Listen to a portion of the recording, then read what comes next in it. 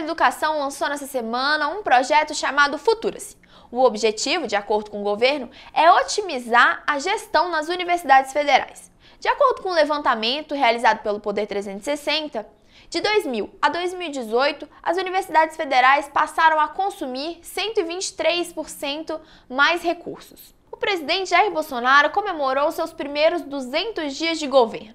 No seu discurso, ele fez ali uma referência à possível reeleição e lançou uma série de novas ações. Se você quiser ler tanto o levantamento do Poder 360 quanto as ações do presidente Bolsonaro, é só você acessar um link que está aqui na descrição desse vídeo.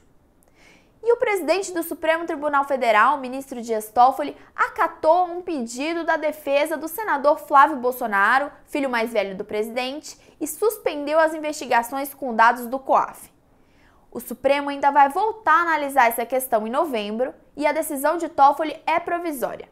Obrigado por assistir esse vídeo, se inscreve aqui no nosso canal e até semana que vem.